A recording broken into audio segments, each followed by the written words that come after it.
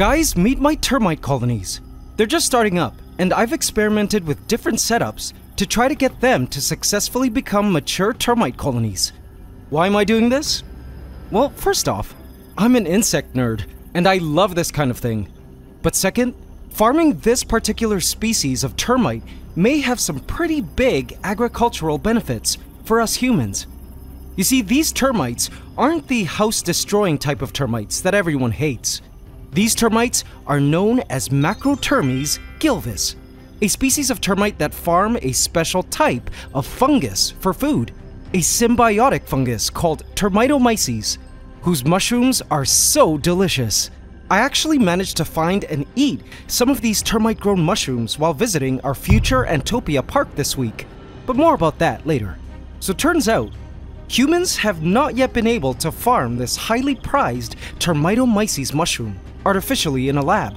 To this day, we humans still need to go out hunting for these termite mushrooms in the wild, sprouting after a lightning storm from termite nests.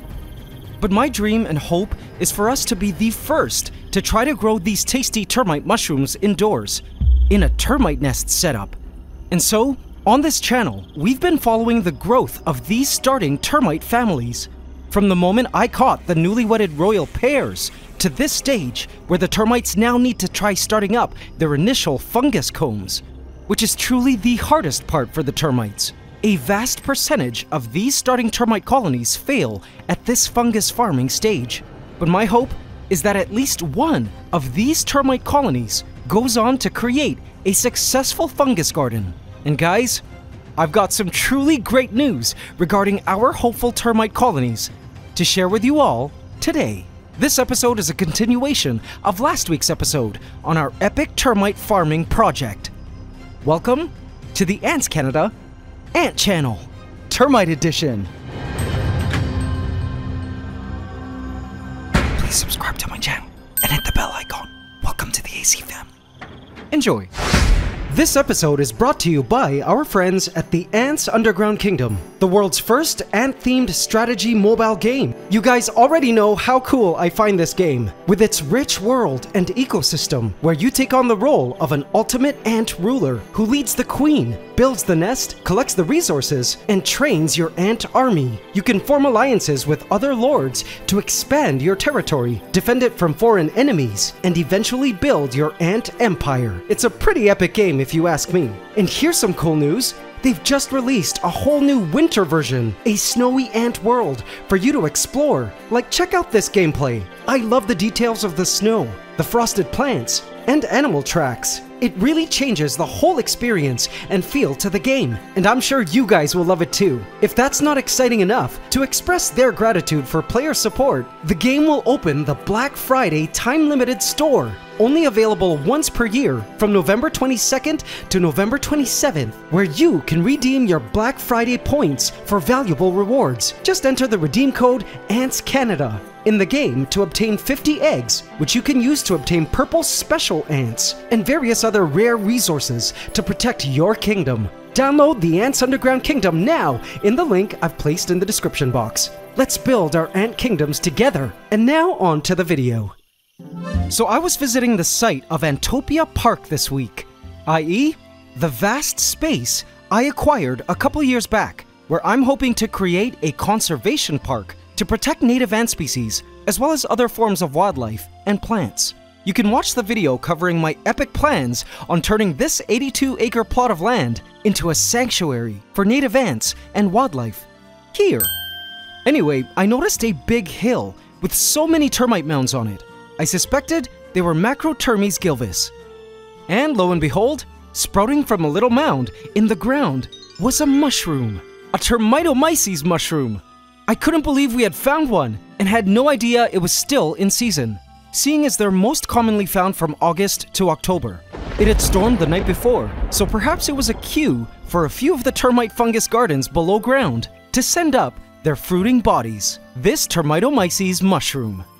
It blew my mind to think that this very mushroom, which I've been learning about all this time from researching our termites, was now in my hands. I just had to eat it. So, I had our farm manager who takes care of Antopia Park and understands how to best prepare the mushroom for consumption. Cook it. First, the mushroom had to be washed well.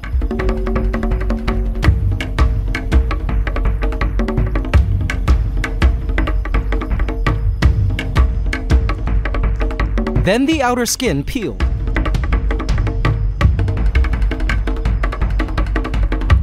Then the mushroom was wrapped in banana leaves.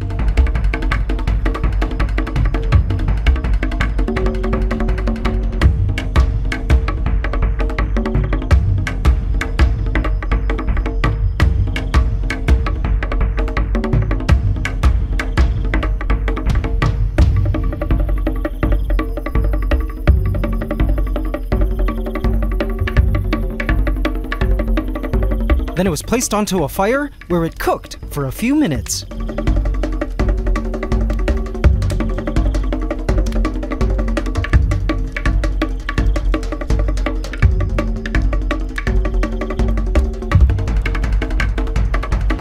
The resulting cooked mushroom smelled delicious and was so juicy.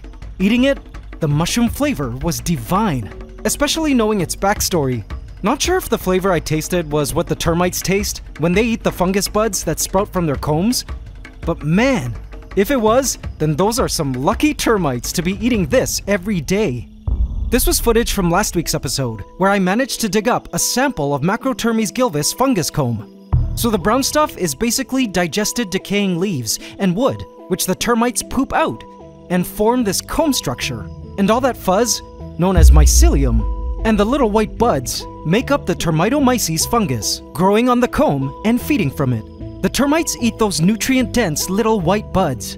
Now in last week's video, you saw that I gave a couple of our termite colonies some sample fungus comb to see if they would start farming it and get their fungus gardens going. One colony totally tore it up to shreds. The other colony adopted and ended up tending to the fungus comb. As for the other colonies in last week's video that didn't get fungus comb, one colony contracted mites, strangely, another colony died, and another colony sealed themselves in a mud dome. Now guys, I have some really exciting updates on all of these termite colonies. I've since provided the termites with some new building materials to hopefully get them to start up their own fungus combs, and some of the colonies have responded to my offerings. I believe our plans are working, AC family. I also have a couple more termite colonies not included in last week's video that I've housed in other setups that I also want to show you. So let's get to it and have a look at our hopeful termite colonies. First, an exciting update. This colony, whom we've named Colony A for now, is the colony with the mites. It seems there haven't been any deaths since last week's video, which is a good sign. It's still possible that these mites are a non-harmful type that are just hitching along for a ride on the termites' bodies. Anyway, the majority of the colony is hiding in a soiled up area of their test tube. I've decided to add some detritus collected from around a wild Macrotermes gilvus nest in my yard. It's a couple pieces of rotting wood. Now the idea is that hopefully this rotting wood contains the needed Termitomyces spores on them, which the termites will ingest. Inside the termite's gut, the rotting wood and fungus spores, along with some soil, which they also ingest, undergo an awesome special process with the help of enzymes and microbes within the termite's gut, and the resulting poop forms the starting fungus comb, which will begin the fungus farming process. And AC family, have a look at the exciting thing I spotted when I looked into the setup just yesterday. See it? It's a sort of elevated ridge where the consistency of the soil looks a bit different from the surrounding soil. If you're not looking carefully, you could easily miss it, as it is designed to be camouflaged with the surrounding soils. The ridge looks a little bit granular. That AC family is a subterranean tunnel coming from their test tube to the decaying wood. Yay! The termites have officially begun to forage and have created a connection to the decaying wood. I bet within this tunnel, the termites go back and forth, eating fibers from this decaying wood piece from below the soil. And back at the test tube, they could have started working on their fungus comb. Now sadly, because things are so obscured by the soil, I can't see if they've started building a fungus comb yet. But I'm sure eventually, it will become more and more apparent that the termites are farming their fungus comb, because this test tube will at some point be insufficient space for the fungus comb, and the termites will inevitably need to start building their fungus comb outside the test tube. When that happens, I'm sure we'll see it. I can't wait to see what's up next for Colony A. They're clearly on the right track, despite having mites. Colony B was released into my yard because sadly one of the royals died. Colony C. Another exciting update. This colony was definitely one of my favorites. So this colony had some detritus placed into their setup for a couple of days, and were also given some fungus comb, but they ended up destroying the fungus comb, and I ended up removing the detritus, because I was afraid it contained the same mites that Colony A had contracted. But guys, have a look at what I saw in their setup this week.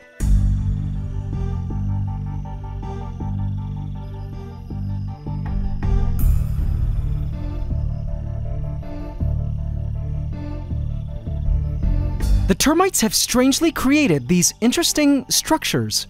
See them? They're like platforms and shelves of soil.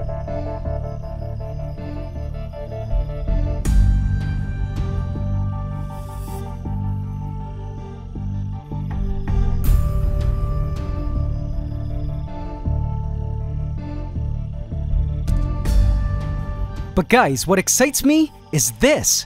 See this photo? This is what a starting fungus comb looks like. It's not beige, but starts off blackish in color. As the fungus grows on it, the structure turns brown over time and starts to develop the fuzz, the mycelium, and later the white buds, which the termites eat.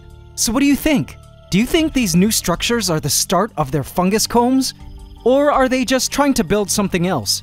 Perhaps chambers or something? Let me know in the comments section what you guys think they are. I really hope they are the starting fungus combs. And look at the bodies of some of the workers. They're filled with soil and other things. It's quite possible the termites managed to get the starting fungus spores they needed from when I offered them some fungus comb last week, and were also able to have a few bits of detritus needed to nourish the fungus. And we're now recombining it all inside to poop it all out again, to form the comb to their own liking. Only time will tell but I look forward to these soil pieces turning brown in the near future. Crossing fingers. I have another exciting update on Colony D, the colony which sealed themselves inside a protective mud dome. I decided to place a couple decaying leaves collected from around a termite nest in my yard. And look! I see a connection tunnel! It seems the termites have begun to forage, and were probably taking small bites from the leaf from below. This was awesome! It looks like the tunneling has also branched off in some areas. Now I may have to replace these leaves soon, because they have started to grow mold.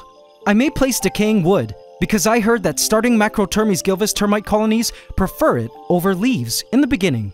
Yay! Go Colony D!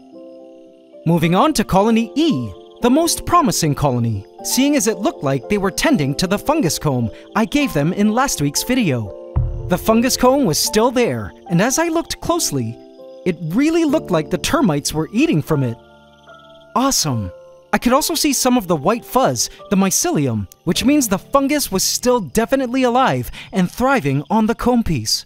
Now, in case the termites ever needed to forage for more detritus to eat and poop out, to further feed their fungus garden, I placed in some detritus again collected from a termite nest in my yard. I'm unsure if the termites have broken out of their test tube to forage for detritus, as I don't see any tunnels, but perhaps the termites will be ready to do that soon. Now here are two other termite colonies which I housed into smaller, simple setups, after learning what I learned in last week's episode.